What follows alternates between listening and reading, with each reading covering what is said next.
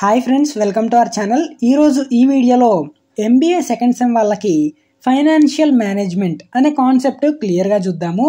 ఈ కాన్సెప్ట్ అనేది regular and supply అందరికీ యూజ్ అవుతుంది. మీరు ఎగ్జామ్కి ఏం రాలేదని కంగారు పడి భయపడకండి. పాజిటివ్గా ఆలోచించండి. మీ అందరూ పాస్ అవ్వడానికి నేను చేసే ఈ చిన్న ప్రయత్నం మీరు ఈ ఛానల్ని సబ్స్క్రైబ్ చేసి సపోర్ట్ చేసి ఈ వీడియోని ఫ్రెండ్స్కి షేర్ చేయండి యూజ్ అవుతుంది. ఫైనాన్షియల్ మేనేజ్మెంట్ గురించి క్లియర్గా తెలుసుకుందాం. అంతేకాకుండా మీకు ఏ టాపిక్ మీద వీడియో కావాలో నాకు మీ సబ్జెక్ట్ నేమ్ అండ్ సిలబస్ అనేది కామెంట్ సెక్షన్లో టైప్ చేసి మీ సిలబస్ కాపీ అనేది ఇన్స్టాగ్రామ్ లేదా టెలిగ్రామ్లో సెండ్ చేయండి. నేను ఖచ్చితంగా వీడియో అయితే చేయడానికి ట్రై చేస్తాను. ముందుగా మన సిలబస్ యొక్క యూనిట్స్. ఫైనాన్షియల్ మేనేజ్మెంట్లో యూనిట్ వన్ వచ్చేసి the finance function unit two వచ్చేసి the investment decision unit three వచ్చేసి the finance decisions unit four వచ్చేసి current assets management and dividend unit five వచ్చేసి corporate restructuring and corporate governance. Financial management తెలుగులో ఆర్థిక నిర్వహణ అంటారు.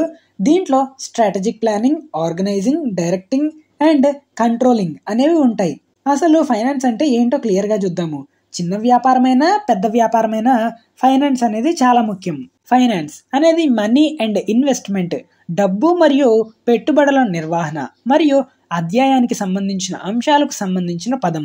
Future income గురించి ముందే ఆలోచించి ఫైనాన్స్ అనేది అందరికీ అందుబాటులో ఉండి మనీ పరంగా క్రెడిట్ అండ్ డెబిట్ ఆధారంగా హెల్ప్ చేస్తుంది.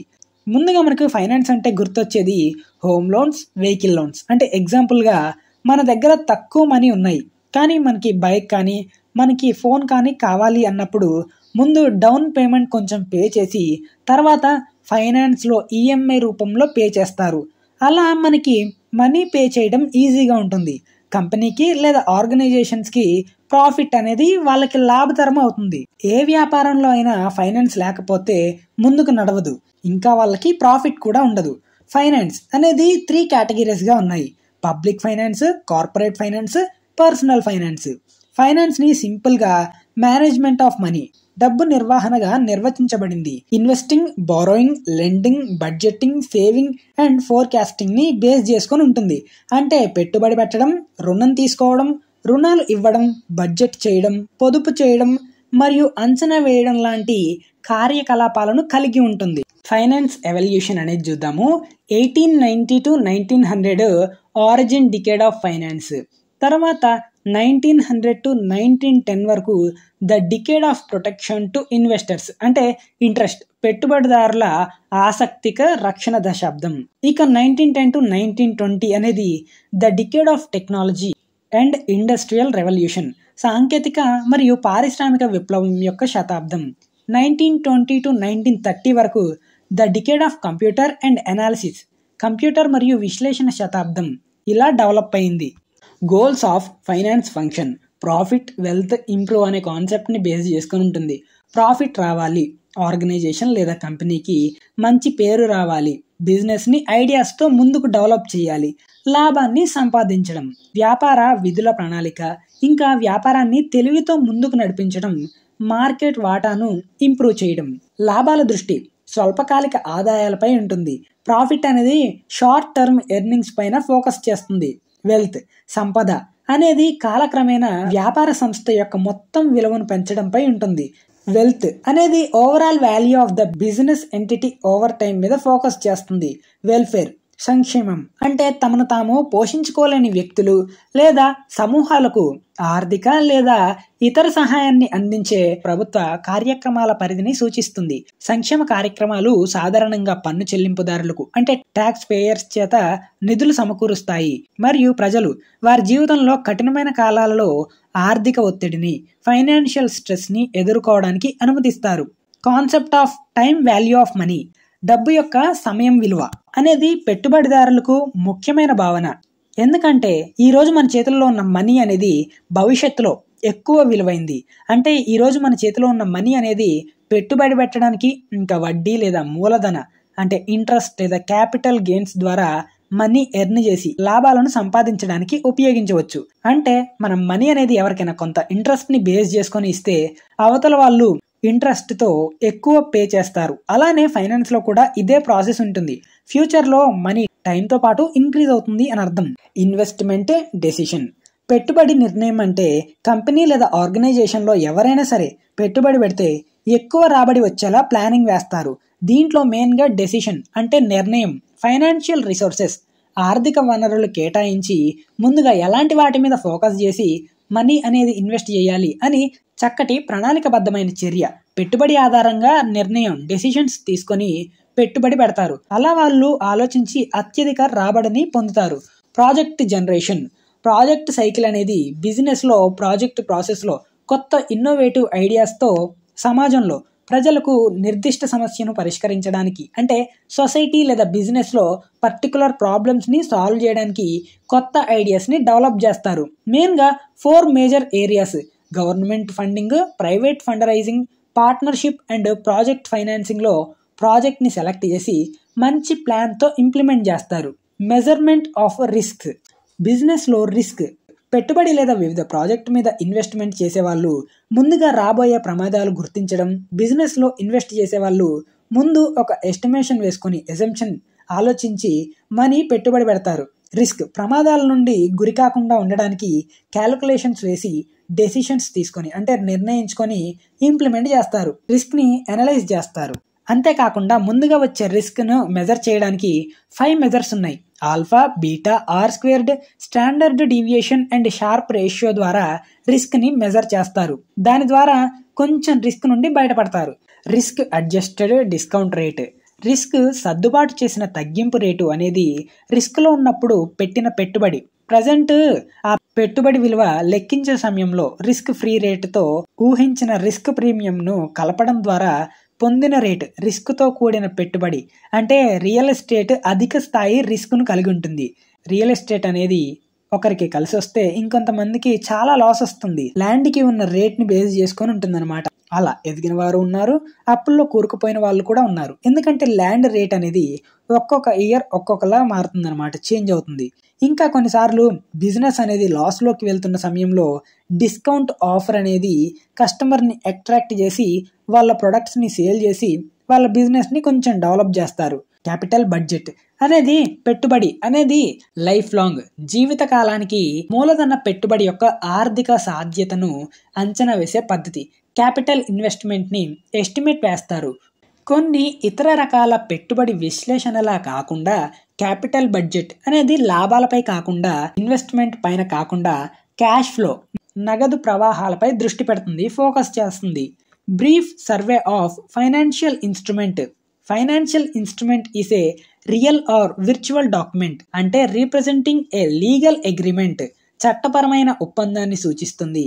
ఫైనాన్షియల్ ఇన్స్ట్రుమెంట్ అనేది ఆర్థిక సాధనాలు రెండు రకాలుగా విభజించారు. Cash instruments and derivative instruments తెలుగులో నగదు సాధనాలు మరియు ఉత్పన్న సాధనాలు అంటారు. క్యాపిటల్ స్ట్రక్చర్ థీరీస్లో మెయిన్గా ఫోర్ థీరీస్ ఉన్నాయి. Net income theory net operating income theory traditional theory Modigliani Miller theory మెయిన్గా మనకి తెలియాల్సింది క్యాపిటల్ స్ట్రక్చర్ థీరీస్లో మెయిన్గా త్రీ పార్ట్స్గా డివైడ్ అయ్యాయి. అవి ఏంటంటే capital structure relevance theory capital structure irrelevance theory capital structure other theory ఈ త్రీ పార్ట్స్ నుండి సిక్స్ థీరీస్ వచ్చాయి. Capital structure relevance థీరీలో net income approach traditional approach. Capital structure irrelevance థీరీలో net operating system income approach Modigliani Miller approach. Capital structure other theory వచ్చేసి the trade off theory తర్వాత the pecking order theory తర్వాత EBIT EPS analysis EBIT అంటే earnings before interest and tax EPS అంటే earning per share తెలుగులో ఈబిఐటిని వడ్డీ మరియు పన్నులకు ముందు ఆదాయాలు అనేది కంపెనీ ప్రాఫిటబిలిటీ అంటే లాభదాయకతను సూచించడానికి ఉపయోగించే ప్రక్రియ. ఎలా క్యాల్కులేట్ చేస్తారు అంటే companies revenue minus its expenses excluding tax and interest. పన్ను మరియు వడ్డీని మినహాయించి కంపెనీ ఆదాయాన్ని దాని ఖర్చులతో లెక్కిస్తారు. ఈపీఎస్ ఎర్నింగ్ పర్ షేర్ అనేది తన స్టాక్లోని ప్రతి షేర్కు ఎంత సంపాదిస్తుంది? మరియు కార్పొరేట్ విలువను అంచనా వేయడానికి విస్తృతంగా ఉపయోగించే మెట్రిక్. ఎలా క్యాల్కులేట్ చేస్తారు అంటే EPS equal to net income minus preferred dividends by weighted average number of shares outstanding సింపుల్గా చెప్పాలి అంటే ఇది వివిధ ఫైనాన్స్ ప్రత్యామ్నాయాల కింద మరియు ఈబీఐటి యొక్క వివిధ స్థాయిలలో ఈపీఎస్ యొక్క ప్రవర్తనపై ఆర్థిక పరపతి ప్రభావాన్ని పరిశీలిస్తుంది. కాస్ట్ ఆఫ్ క్యాపిటల్ అంటే మూలధన వ్యయం అనేది కొత్త పరికరాలను కొనుగోలు చేయడం పర్చేసింగ్ న్యూ ఎక్విప్మెంట్స్ లేదా కొత్త భవనాన్ని నిర్మించడం కన్స్ట్రక్టింగ్ ఎ న్యూ బిల్డింగ్ వంటి కాస్ట్ ఆఫ్ క్యాపిటల్ మూలధన ప్రాజెక్టు ఖర్చును సమర్థించడం కోసం కంపెనీ సాధించాల్సిన రాబడిని సూచిస్తుంది. కాస్ట్ ఆఫ్ క్యాపిటల్ అనేది ఈక్విటీ అండ్ డెబిట్ రెండింటి ఖర్చును కలిగి ఉంటుంది. కంపెనీ యొక్క ప్రాధాన్యత లేదా ప్రస్తుత మూలధన నిర్మాణం ప్రకారం వెయిటేజ్ అనేది ఉంటుంది. Weightage average cost of capital అనేది ఒక వ్యాపారం. తన ఆస్తులకు ఫైనాన్స్ చేయడానికి చెల్లించే సగటు రేటు. ఇది కంపెనీ మూలధన మూలాధారాలు అంటే డెబిట్ అండ్ ఈక్విటీ యొక్క సగటు రేటు ద్వారా లెక్కించబడుతుంది. ప్రతి భాగం యొక్క నిష్పత్తిని బట్టి వెయిటేజ్ అనేది ఉంటుంది. మార్జినల్ కాస్ట్ ఆఫ్ క్యాపిటల్ని ఆపర్చునిటీ కాస్ట్ ఆఫ్ క్యాపిటల్ అని కూడా పిలుస్తారు. మనం ఫైనాన్సింగ్కి ఎంత పే చేస్తున్నాం అనే దాన్ని క్యాల్కులేట్ చేయడానికి ఈక్విటీ మరియు డెబిట్ ద్వారా అదనపు నిధులను సేకరించడానికి అయ్యే ఖర్చు. మూలధనం యొక్క ఉపాంత వ్యయం స్లాబ్లలో పెరుగుతుంది. సరళంగా కాదు దీని అర్థం ఒక కంపెనీ ఎక్కువ నిధులను సమీకరించినందున అదనపు నిధుల సేకరణ ఖర్చు నాన్ లీనియర్ రేట్తో పెరుగుతుంది. కరెంట్ ఎసెట్ అంటే ప్రస్తుత ఆస్తిని కొన్నిసార్లు లిక్విడ్ ఎసెట్ అని కూడా పిలుస్తారు. ఇది షార్ట్ టర్మ్ ఎసెట్ అనమాట ఒక కంపెనీ అనేది ఒక ఆర్థిక సంవత్సరంలో కంపెనీ ఎక్స్పెక్ట్ చేస్తుంది నగదు మార్చుకోవాలని. అంటే డబ్బులను నగదుగా మార్చుకోవాలని చూస్తుంది. లేదా విక్రయించాలి. అంటే అమ్మడం లాంటి ఆశించే స్వల్పకాలిక ఆస్తి కరెంట్ ఎసెట్స్ అంటే. ప్రస్తుత ఆస్తులు. అంటే మీరు స్వల్పకాలిక పెట్టుబడులు మరియు స్వీకరించదగిన ఖాతాలు వంటి వాటిని ఒక సంవత్సరంలో నగదుగా మార్చుకోవచ్చు. నాన్ కరెంట్ ఎసెట్స్ అనేది లాంగ్ టర్మ్ ఎసెట్స్ అంటే ఆస్తి ఇంకా మెషిన్స్ లాంటివి వన్ ఇయర్ తర్వాత ఒక సంవత్సరం తర్వాత మీరు గుర్తించలేక పూర్తి విలువ కలిగిన దీర్ఘకాలిక ఆస్తులు. రిసీవబుల్ మేనేజ్మెంట్ స్వీకరించదగిన నిర్వహణ. కస్టమర్ క్రెడిట్ పై కంపెనీల నుండి ఏమి కొంటున్నాడో దాన్ని ట్రాక్ చేసే మొత్తం ప్రక్రియ దీనిని కంపెనీల నుండి ఏమేం కొంటున్నాడో దాన్ని ట్రాక్ చేసే మొత్తం ప్రక్రియ. దీనిని క్రెడిట్ పై కొనుగోలు చేయడం అని కూడా పిలుస్తారు. ఇది క్రెడిట్ విధానాన్ని అభివృద్ధి చేయడం క్రెడిట్ పాలసీని డెవలప్ చేస్తుంది. కస్టమర్స్ను ఫాలో అప్ చేసి కరస్పాండెన్స్లను పంపడం మరియు డ్యూ పేమెంట్స్ని కలెక్ట్ చేయడం అంటే బకాయి చెల్లింపులు సేకరించడం. Bank norms for working capital.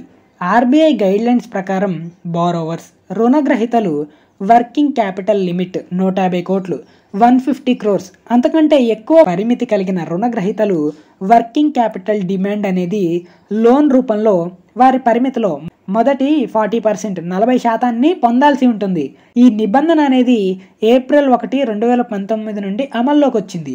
July ఒకటి నుండి లోన్ కాంపోనెంట్ అరవై శాతానికి పెరుగుతుంది. అంటే ఒక నెలలో పెరుగుతుంది.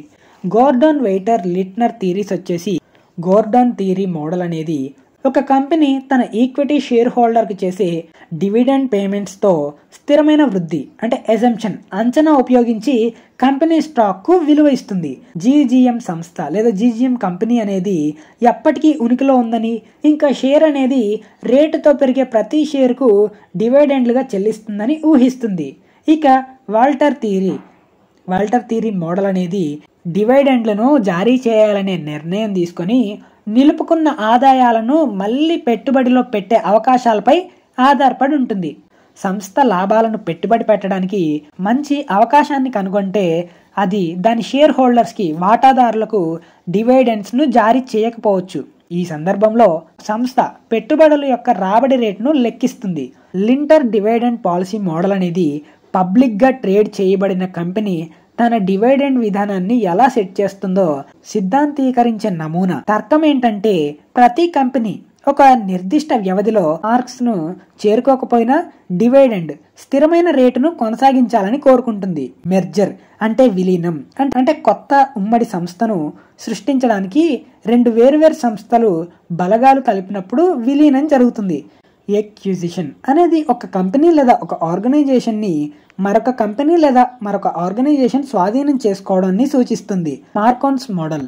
మార్కాన్స్ మోడల్ అనేది ఒక సంస్థ ఒక ఆర్గనైజేషన్ వాల్యూ అనేది ఎలా మెజర్ చేస్తారు అంటే దే రేషియో మార్కెట్ విలువకు పుస్తక విలువకు అంటే market value to the book value రేషియోతో measure చేస్తారు. ఈ రేషియో ఇంక్రీజ్ అవుతూ ఆ సంస్థ యొక్క విలువను సూచిస్తుంది. ఇంకా తగ్గింపు సంస్థ యొక్క విలువతో తగ్గింపును ప్రతిబింబిస్తాయి. McKinsey seven S model అంటే ఆర్గనైజేషనల్ టూల్ ఇది. ఇది ఒక సంస్థ యొక్క సాధనం ఆర్గనైజేషనల్ టూల్. ఫ్యూచర్లో సక్సెస్ ఎజంప్షన్ని అంచనా వేసే సాధనం. సంస్థ విజయవంతం కావడానికి నిర్మాణాత్మక మద్దతు ఉందో లేదో నిర్ణయించే సాధనంగా ఇది సంస్థ యొక్క ఏడు అంతర్గత అంశాలను చూపిస్తుంది. ఇక basic principles of corporate governance. Corporate governance అనేది అకౌంటబిలిటీ అంటే జవాబుదారీతనం ట్రాన్స్పరెన్సీ పారదర్శకత ఫెయిర్నెస్ న్యాయబద్ధత రెస్పాన్సిబిలిటీ బాధ్యత మరియు రిస్క్ మేనేజ్మెంట్ అనే కాన్సెప్ట్ని బేస్ చేసుకొని ఉంటుంది. సో చివరిగా ఇదండి ఫైనాన్షియల్ మేనేజ్మెంట్ గురించి. ఇవి విని మీరు కొంచెం మ్యాటర్ ఎక్స్టెండ్ చేసి రాస్తే మీకైతే మంచి మార్కులు వస్తాయి